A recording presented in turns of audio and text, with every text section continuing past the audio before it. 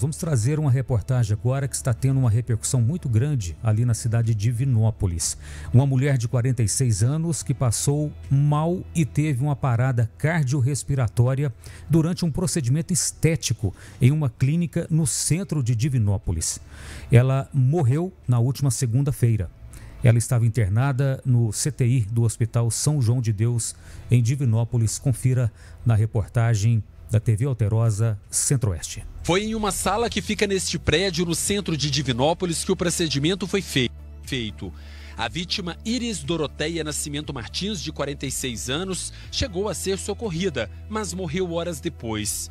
Logo após o fato, grande movimentação de peritos e vigilância sanitária no local. Vigilância sanitária foi até o, o, local no momento para poder verificar se o que estava sendo feito lá estava de acordo com a documentação que ela apresentou e com o projeto arquitetônico que foi apresentado para aquela clínica. De acordo com a polícia, Iris foi até a clínica fazer um procedimento de lipoaspiração.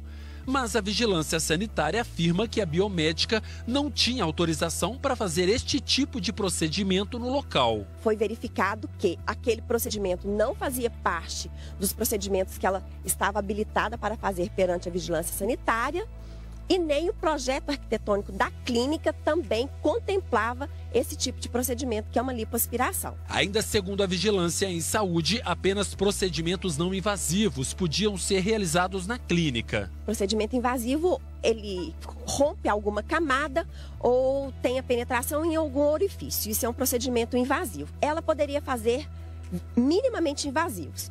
Um peeling, uma aplicação de botox, isso que era a autorização dela. De acordo com a polícia, no final da manhã, Iris teve uma parada cardiorrespiratória enquanto ainda estava na clínica.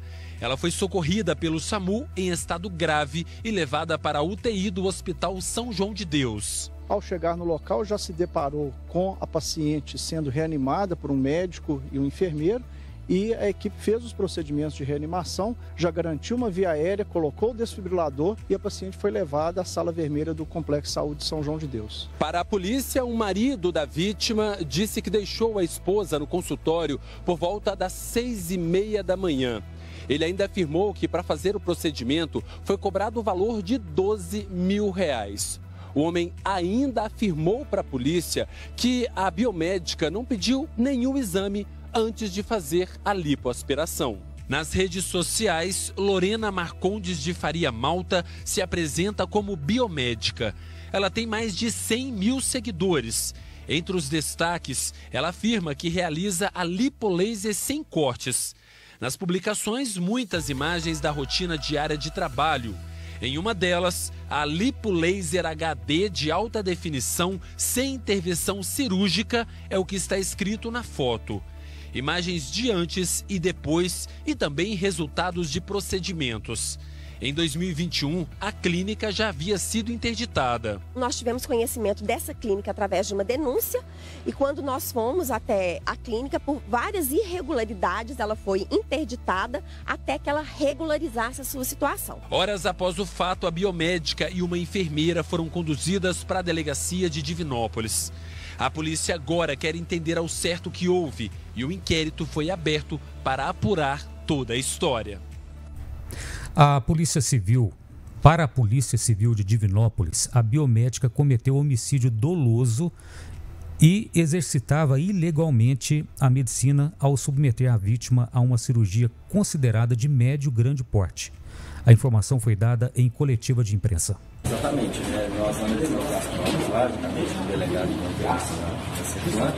e analisamos que ela tinha ciência do que ela estava fazendo, mesmo ela não querendo, né? não queria falar que ela queria matar, por isso que existe o dólar eventual, ela assumiu o risco no momento que ela estava fazendo um procedimento que ela não estava autorizada uma, uma invasão, né, como a legista mesmo falou, um procedimento cirúrgico de médio a grande porte, teria que ter outros profissionais médicos ali, até anestesistas, equipamento para suporte, caso der uma intercorrência, ela não tinha nada disso. No momento que ela faz esse tipo de cirurgia, sem esse equipamento, ela assume o risco do resultado. Então é como se ela mesmo tivesse matado com intenção.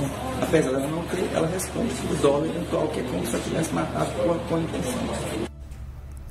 Em nota enviada ao portal G1 Centro-Oeste, a defesa da profissional informou que, abre aspas, nenhum erro ou má prática profissional ocorreu e que reações adversas ocorrem em qualquer intervenção no ser humano, tanto estéticas quanto terapêuticas. A ocorrência de uma reação adversa e eventuais efeitos desagradáveis não tem vinculação necessária com um equívoco técnico ou inabilidade profissional pelo contrário, disse a defesa da biomédica.